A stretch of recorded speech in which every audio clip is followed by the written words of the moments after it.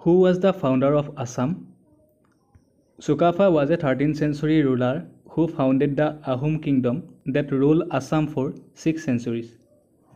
চুকাফা এজন ত্ৰয়োদশ শতিকাৰ শাসক আছিল তেওঁ ছয় শতিকা ধৰি অসম শাসন কৰিছিল ছশ বছৰ ধৰি অসম শাসন কৰিছিল আৰু contemporary scholars trace his roots to Burma সমসাময়িক পণ্ডিতসকলে তেওঁৰ শিপা বাৰ্মালৈ বিচাৰি উলিয়াইছে আৰু Sukapha was a leader of Ahoms Sukapha আছিল আহোমসকলৰ এজন নেতা।